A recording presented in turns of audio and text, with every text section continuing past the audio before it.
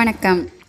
மலேசியாவில் பெர்லிஸ் மாநிலத்தில் தமிழ் மற்றும் சீன பள்ளிகளுக்கு இடையிலான தேசிய நிலையிலான பிரதமர் கிண்ண நாற்பதாவது கதை சொல்லும் போட்டி மிக விமர்சையாக நடைபெற்றது. இப்போட்டியில் பேரா மற்றும் ஸ்லாங்கூர் மாநிலம் முதல் நிலையில் வெற்றி பெற்றது.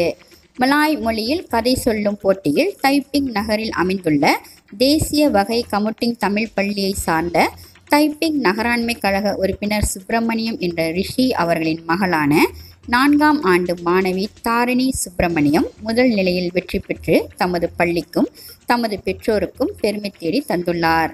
தாரிணி சுப்பிரமணியத்தின் தாயார் அப்பள்ளியின் கல்வி போதிக்கும் ஆசிரியர் திருமதி தீபாவின் மகள் என்பது குறிப்பிடத்தக்கது.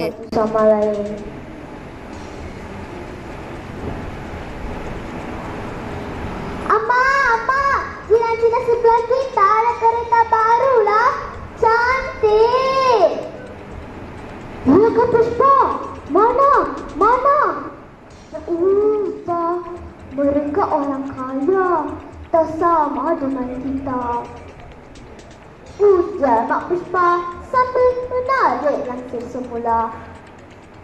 Sementara di dalam kereta itu pula, Akyong dan ibu bapaknya முதல் நிலையில் வெற்றி பெற்று தேசிய வகை கமுட்டிங் தமிழ் பள்ளிக்கு பெருமை தேடி தந்துள்ள தாரிணி சுப்பிரமணியம் என்ற மாணவி சிறப்பு செய்யும் விதமாக பள்ளியில் வெற்றி விழாவாக கொண்டாடப்பட்டது.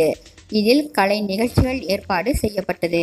அக்டோபர் மாதம் ஒன்பதாம் தேதி அன்று காலை எட்டு முப்பது மணியளவில் நாட்டின் தேசிய பாடலுடன் தொடங்கியது. பின்னர் பரதநாட்டியம் மலாய் இனத்தவரின் நடனம் சீன இனத்தவர்களின் நடனம் பேச்சுப் போட்டி உள்ளிட்டவை சிறப்பாக நடைபெற்றது.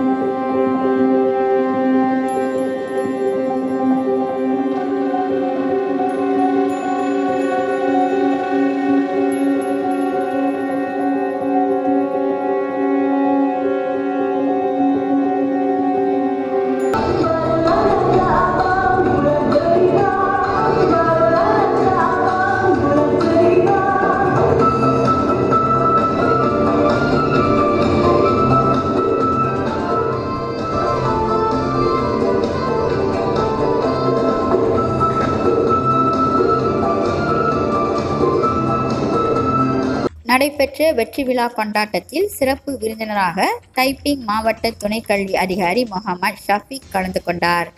நிகழ்ச்சியில் தேசிய நிலையிலான பிரதமர் கிண்ண நாற்பதாவது மலாய் மொழியில் கதை சொல்லும் போட்டியில் முதல் நிலையில் வெற்றி பெற்ற தாரணி சுப்பிரமணியத்திற்கு தைப்பிங் மாவட்ட துணை கல்வி அதிகாரி முகமது ஷஃபீக் பரிசு கோப்பைகளையும் சான்றிதழ்களையும் வழங்கி சிறப்பு செய்தார்.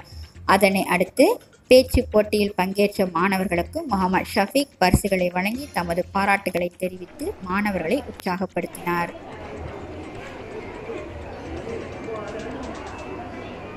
Hadiah diberikan kepada Cikgu Atif beserta dengan sijil pernikahan.